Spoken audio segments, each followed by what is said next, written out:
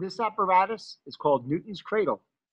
It's supposed to demonstrate conservation of energy and momentum in collisions. There's supposed to be five balls here hanging from these fishing lines, but one of the strings broke, and so I stuck the other one up there out of the way. I'm pulling one ball back, see what happens.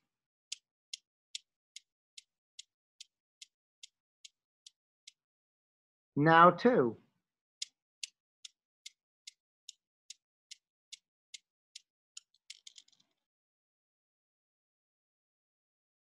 Now three.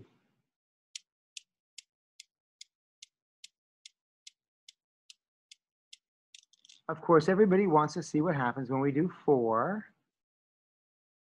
Very good. Now I'm going to pull just one back and have it hit one ball. Do you notice how the first ball comes down and stops and the other one takes off? We should be able to prove that using conservation of energy and momentum. I'd like you to try that. And then tell me what happens in that situation.